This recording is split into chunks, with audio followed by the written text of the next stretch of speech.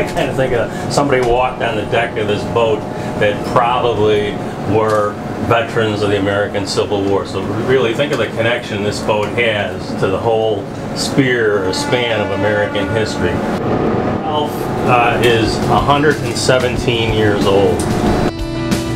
So anyway, the boat itself is 118 feet long.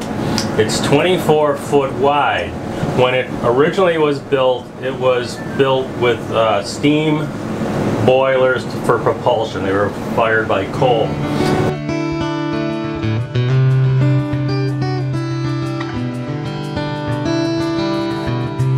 Well, the funding for the boat comes from the city budget. So, uh, but there is a conservancy that uh, collects donations to try and maintain the boat.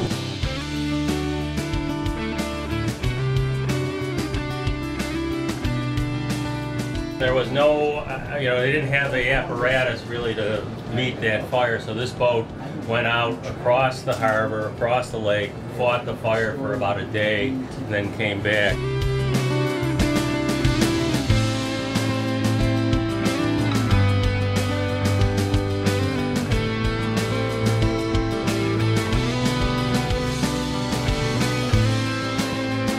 All along this harbor, there was not a square inch of space that wasn't occupied.